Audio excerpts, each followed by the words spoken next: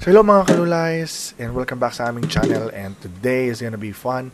I'm going to show you my life as a driver and I'm so excited and I'm going to work now. It's already 7.30 a.m. in the morning and as you can see, I'm logging in and I'm fixing my truck and if you're wondering how much ang kinikita ng isang driver for one year is basically around 45 to 55,000 a year. It depends. Kasi most sa tractor, they offer you a different, depende sa skills mo. And so far, so good. I can still pay the bills. And then, as you can see, the beautiful route that I have, I go to 347, going to Maricopa. And samahan nyo ako guys sa ating journey for today. So we just got here. So papakita ko lang sa inyo how it works. So basically this is my whole route, Maricopa. And then basically I'm depending on the SID number tapos save dapat yung sa box. 1565. Okay.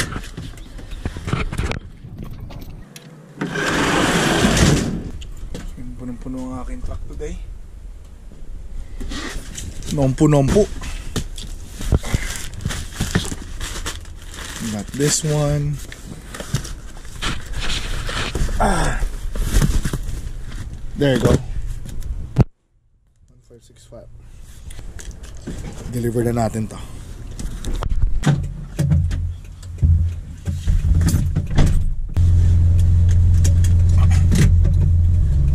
I'm done and we're going to the apartment. Actually, I hate apartments kasi you're going up and down the stairs. But it's fine. It's, I'm having fun of it. So, ayan. Minaba ko na yung boxes. You need to take off pictures para at least kung may magnakaw, walang problema. And if you, as you can see right now, I'm delivering at Walmart. So, mostly ng boxes na yan is galing sa kanila, eh, para sa kanila. And I'm fixing it, organizing it, scan it one by one. And the reason why I'm going up there is hindi ko mabuksan yung back door because I forgot the key sa kotse ko. So, do it manually. So, so, it took me like 10 minutes to open that door.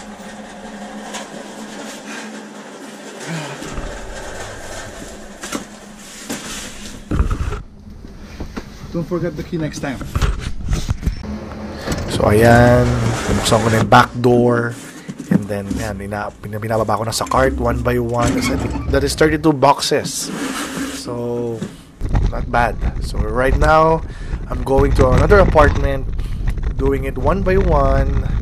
Itong apartment is newly built sa Maricopa. So, medyo, I still learning ano yung mas mabilis na routes going I mean it's, e- it's easier to deliver going to second floor dropping it take photo para save and then all goods and then look for the next stop ayan selfie selfie muna tayo malamig ngayong umaga ayan montage So, ayun guys, um, update tayo. So, right now is 12.13. So, it's gonna be my break. Saglit na break lang, like 5 minutes mostly to bring my own lunch. So, at least if you can make your own food, you're sure it's clean, you're gonna save some money too. Diba, right? My dad prepared this one. So, mostly my my work, it's up to you kung gusto mong mag-break. The more na stop, the more na mag-stay ka outside.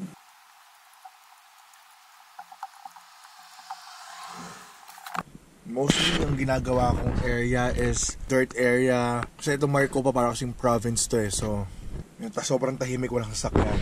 It's kinda easy. Mamaya naman mga res- residential, mga bahay. So, all houses. Uh, I will show you later. So, 5 minute, 5 minute break. Deliver ulit tayo. Let's go.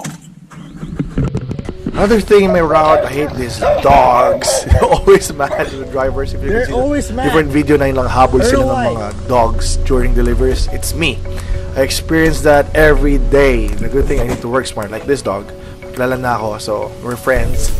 And then, I love this area. So quiet, so green, and so peaceful. It's already 3.20 p.m.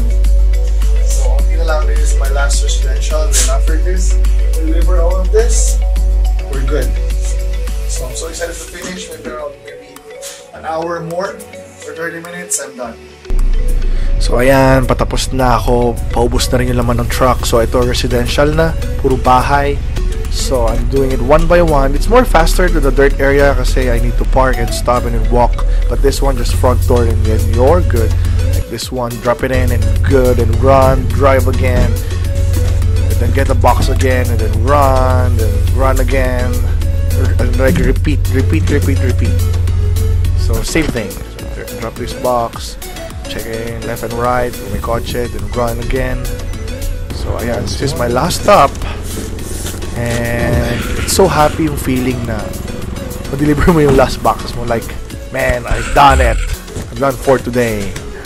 So thank you guys and Okay. going back to my truck. Mabalik na tayo ng station. So tired. So natapos na rin sa work. Ayan, kita niyo yung kamay ko. Sobrang dumi. Talagang hard work for today. I mean, Friday, it's kind of busy then. And it's funny. I just realized one thing.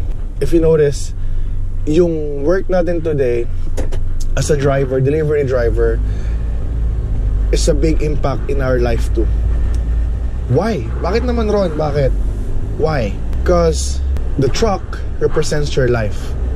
The packages inside represents the struggle, problems, nemesis, your um, big worries in life. If you, if you remember, may mga small packages, big packages, medium, may overweight packages. Pero here's the thing. By the end of the day, the goal is deliver all the packages. We need to keep moving forward. Kasi kung hindi ako mag-keep moving forward, hindi ko matatapos yung work ko today hindi ko matatapos yung goal ko today. May stack up sa iyo yung mga boxes mo.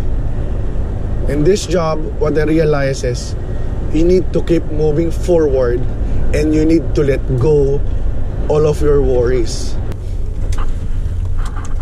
So anyways, hanggang sa muli, until we meet again, bye-bye. One, two, three! My darling, I love you, I love you, I love you, I love you. I love you.